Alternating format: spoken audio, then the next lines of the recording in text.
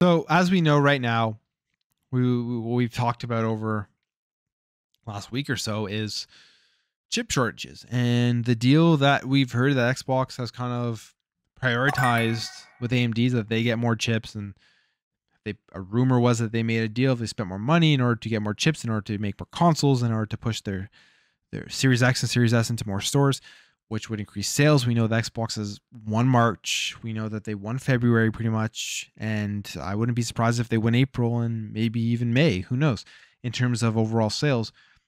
And one of the big reasons is just because uh, they have more stock, right? If you have more stock, more people are going to buy your console unless like it's it's an interesting thing to think about. Let's say last generation because I always use people always love to use the only reason why the Xbox is selling is because there's more stock, and I disagree with that. I think they're the reason they're selling more.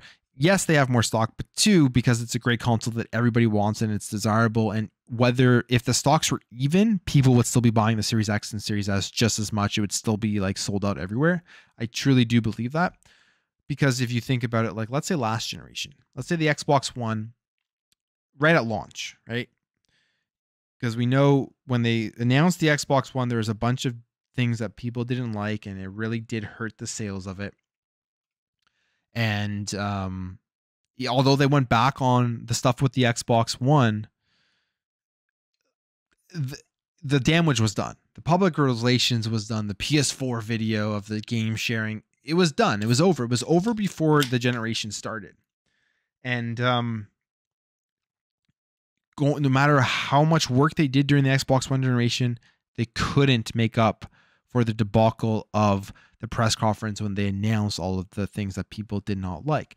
So my my theory is if the PS4 and the Xbox One were out and there was a period where the PS4 just wasn't on the shelf and the Xbox One was on the shelf, would people still be running out to buy Xbox Ones? Instead of PS4s, knowing all of the things that they didn't like about the console. I some people would, but I think it's it wouldn't be as successful as it is right now with the Series X and S, even though it's harder to get a PS5 at this moment because there was a period of time earlier last year where it was much easier to get a PS5. I even saw it here in Canada where like it was always links dropping for PS5, and there was it was really hard to get a P, uh, Xbox Series X. I actually got like three PS5s for some friends who wanted it. I just said, hey, if I see it, I'll grab it for you, and I was able to do that. And I had other friends that wanted the Series X, and I just couldn't get it. So, yes, stock plays a big role in sales, but Xbox has done a really good job this generation with the series and have made a very desirable console with the features and the things that it can do. And that's, I would say, the main reason why people are running out to buy it is that they've made a great console. So this con- this uh, article here is about the chip shortage and if it means that the Xbox Series X and S will get an upgrade this generation. We know that the One X and the PS4 Pro came out last generation. They say here, last generation was the first time we ever got a true upgrade within a console lifecycle. Sure, we always receive slim consoles, here and small revisions there, but the Xbox One X marked a significant change in direction for console gaming. And I think we will get a slim version uh, at some point of either one of these consoles. We always get the slim versions going all the way back. Like Super Nintendo got like a revision, like smaller, like cooler version, right? So we've always gotten revisions of the console because they want to make them cheaper to produce and make more money off each each unit they sell. The Imagine Xbox One X was massive upgrade on the base console, bringing incredibly high resolution targets and often the ability to switch between multiple graphics modes. Arguably, both it and the PS4 Pro have had a huge impact on the new generation as multiple rendering modes are now the norm. So that was yeah that that was huge because the One X I remember playing I think Assassin's Creed um, Origins. That was the first game I played on it in like 4K. And it, it was a big upgrade from the Xbox One. Now, the reason I think the Xbox One X and the PS4 Pro came out w- was because when the PS4 launched and the Xbox One launched, they were both very anemic consoles. They were further behind in that time than what we have right now with the Series X and the PS5, specifically the Series X, I would say. The Series X is a very capable console in terms of power when you're comparing it to PC graphics cards, right? For when it came out. Whereas the One X was like very it was just I mean the, the Xbox One was it was when it came out it was already extremely far behind and it was just a very bad it was an anemic console. And even the PS4, but less so the PS4. On the Xbox side of things, the One X has seemingly had a big impact internally Makes sense, yeah. This time around, Microsoft has built the idea of multiple consoles within a generation right into the naming convention. Xbox Series has always implied the way we see multiple console iterations this generation. Xbox Series S already proved that at launch, and we we know that there is Project Keystone, right? Project Keystone is something that that um, we've seen pop up. We don't know what it is. Is it another console? Is it a slim console? Is it a streaming stick, we don't know, but there probably is something else in, in the works from Xbox that we will eventually get. And I, I personally think it's like some, some something to do with streaming, but hey, wait and see. However, the pandemic has had a huge impact on chip manufacturing, so much so that the new gen gen consoles are still pretty hard to find, barring the Xbox Series S, which is seemingly cheaper and easier to make. With that in mind, has chip storage harmed our chances of a new Xbox anytime soon, or will Microsoft merely change directions? So that's the question. That's what this article is asking. They go over some other stuff here with a couple things that we've heard about, like the Keystone. We've also heard that there is a new chip that Xbox is going to be using, not changing the power performance, but just to reduce the costs and all that type of stuff. But will we get an upgrade this generation? And my opinion on this is that I do not believe we will get any upgrade this generation. I don't think so. I think the next console that comes out for Xbox will be the next generation console for a couple of reasons. One, the Series X launched. It's a great console. It's more than capable for a number of years. We have barely even tapped into the potential and the power of it. We have barely even tapped into the potential of the new, I guess you can say, tools. I know people love to troll about the tools, but the tools like VRS and the the the, stuff that AMD announced, the two VRS 2.0, all that type of stuff, right? That we haven't even gotten into yet. Games aren't even utilizing yet, and that alone is going to be able to to increase longevity of these consoles. Three, we have cloud gaming, and we know with Xbox specifically, they're the fact they they don't really care about the console. They don't only care about the console, I guess is the best way to put it. They want to get you into their ecosystem and they don't care how you play. If you stream games or whatever, it doesn't matter. They're still keeping the Xbox One alive by allowing Xbox Cloud Gaming onto the Xbox One, right? So I do not believe we're going to be getting any upgrade this generation. The only thing I think we will be getting is some sort of slim variation of the Series X. I don't know how much slimmer they're going to be able to make the Series S because the Series S is a very tiny console. Like I have it right behind here. It's a it's a very nice small little console that I don't know how much smaller they're going to be able to make it with the specs that are in there. We would have to see if they can. And a we're two years we're almost two years we're going on to two years into this into this console and I, I still think that we haven't even come close to seeing some of the stuff we can see. We have new engines like Unreal Engine 5, which we know is going to allow developers to do stuff that there was a there was like the Superman the Superman demo with the Matrix and the Matrix demo and and if we haven't even started to see that stuff yet and we know that those types of games are coming over to the Series X to the Series S, I don't believe we will see any sort of mid-generation upgrade. I think this, and I've I've had this opinion since the beginning of it, since they announced the Series X. They're gonna push this console for this entire generation. We may get another console generation after this, but they're going to be moving and shifting over, really focusing on their ecosystem in cloud gaming almost to a point where the console will potentially be like secondary avenue for people to go and play games whether it's next generation or the generation after that that's kind of the way that the industry i think is going. But i mean you never know. I mean the one x completely turned around the xbox one generation completely turned it around.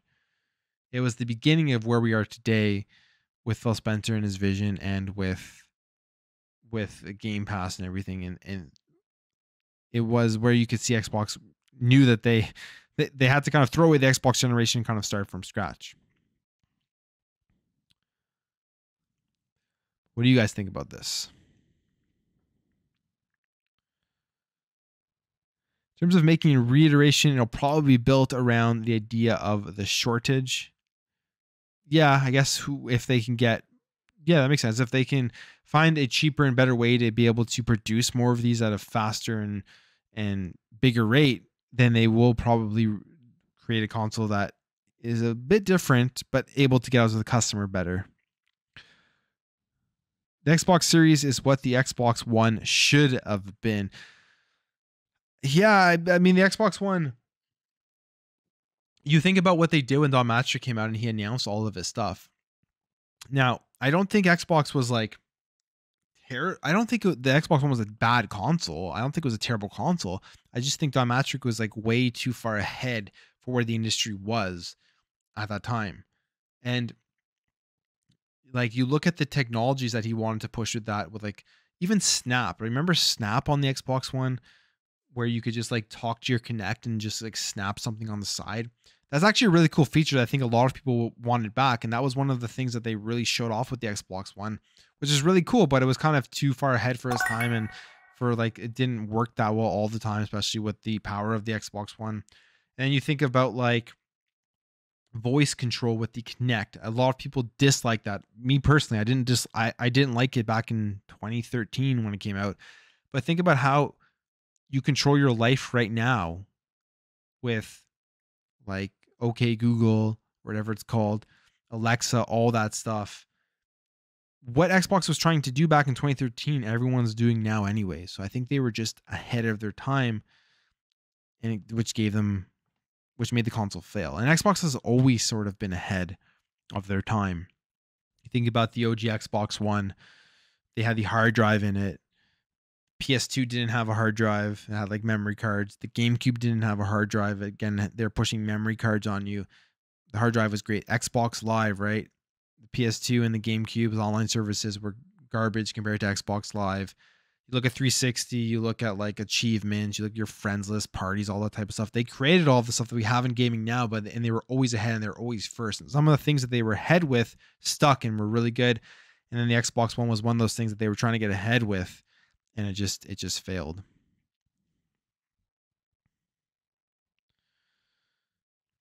New chips. Can we see more server blades for xCloud?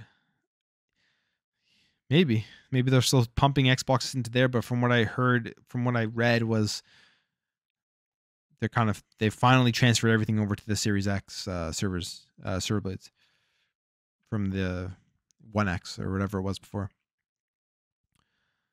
It was like that there in the UK, got the PS5 day one, but had to pay a scalper price for a few months later for the Series X. Yeah, that's exactly it. That's in Canada, it was the exact same. When the consoles launched for the first year or so, it was way easier to get PS5 than a Series X. And now it's like, or now it's like, yeah, it's now it's reversed. Now in Canada, it's like I can, it's easier. I see more Xbox Series X links pop up, and I it's harder to get a, harder to get a um a PS5. So looks like PS5 just kind of really went hard at the beginning to get as many people into their console as possible. Whereas Xbox is like, hey, we don't have to push as hard at the beginning because we have the ecosystem. We know people are still going to be playing on Xbox One, and we know people are still going to be playing on the cloud. So as long as they're subscribed and they're still tapped into our ecosystem, we can kind of take our time and not worry too much about the chip shortage, and then we'll get back on pushing more more hardware once we get prioritized with the chips. I don't know, but it's it's a smart business strategy for sure. Hollywood doesn't like being held down by books and games. They always want to put their own spin on things. Yeah, they do. They do. I'll just leave it at that. because man, their spins sometimes are not very good. I don't I'm not a big fan. I'm not going to lie, I used to use my Kinect all the time. Yeah, a lot of people did. I think a lot of people who got the Xbox One at launch probably used the shit out of their Kinect. And the Kinect isn't connected technology in like so many things now too. So Kinect isn't dead. It's just not not an Xbox anymore, right? Snap and Upload Studios were amazing features. Yeah, they were on Xbox One. I mean, those are great features back then. The DVR stuff now on the Series X is pretty questionable. Um, there are a lot of things Xbox One did that were good.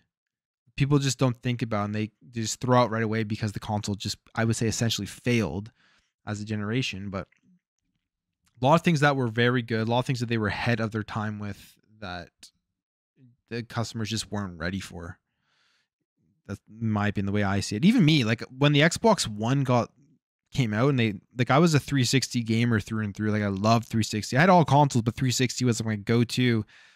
They announced Xbox One, and I was one of those guys who was like, like screw that. I'm getting a PS4. Like after that announcement, even after they changed everything, I got a PS4 first, and I didn't get an Xbox One until like a year after it came out to play Master Chief Collection. So they even had Lost Me back then at the beginning for Battlefield 4.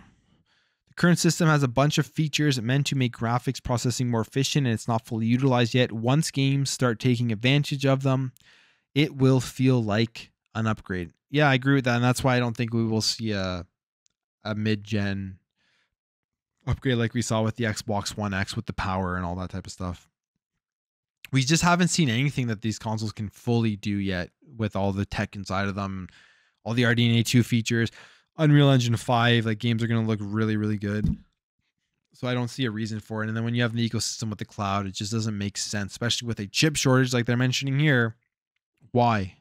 Why put yourself through that struggle and all that production and manufacturing when you can essentially provide all the stuff that that new console is most likely going to be able to provide with through different avenues?